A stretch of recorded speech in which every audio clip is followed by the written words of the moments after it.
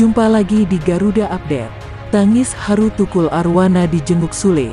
Terhibur ketemu juniornya, dia pegang tangan saya erat. Sebelum lanjut luangkanlah jari Anda untuk menekan tombol subscribe terlebih dahulu agar kalian tak ketinggalan info terupdate dari kami. Mari simak videonya. Tangis haru dari sang komedian Tukul Arwana dijenguk oleh Sule. Belum lama ini mewarnai cerita pertemuan dari dua komedian populer di tanah air ini. Sebagai rekan dan juga junior, komedian Sule juga mendatangi sang komedian Tukul Arwana, yang saat ini sedang dalam proses pemulihan pasca dirinya selesai operasi pendarahan di otaknya. Dari kedatangan sang komedian Sule ke rumah Tukul Arwana, kondisi terbaru dari pemilik jargon tak sobek-sobek itu juga turut terungkap.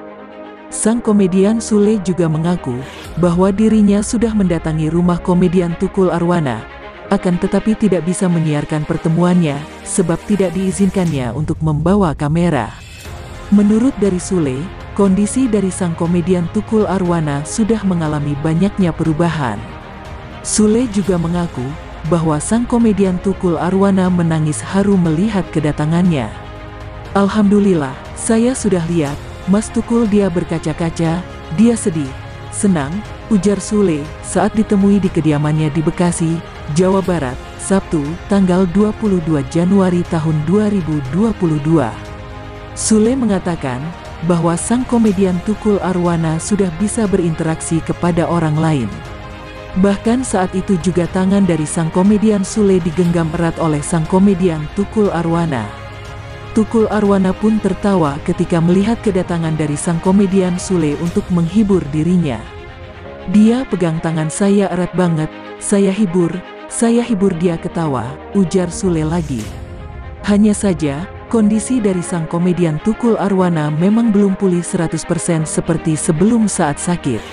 Paling tidak, sang komedian Tukul Arwana sudah bisa berinteraksi kepada orang lain, meskipun belum bisa berbicara. Iya, cuma dia belum bisa ngomong, senang, happy, saya hibur saja terus, karena kata dokter juga harus banyak interaktif sama Mas Tukul, tandasnya. Selain dari komedian Sule, Vega Darwanti juga belum lama ini mengunjungi sang sahabatnya dan juga sekaligus partner dari kerjanya itu, untuk memberikan semangat kepada sahabat. Vega Darwanti pun menceritakan jika sang komedian Tukul Arwana sudah semakin pulih.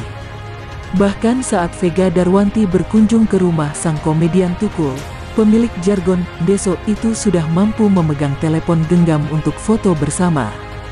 Vega Darwanti juga melihat sang komedian Tukul Arwana memiliki semangat yang tinggi untuk sembuh dari penyakitnya.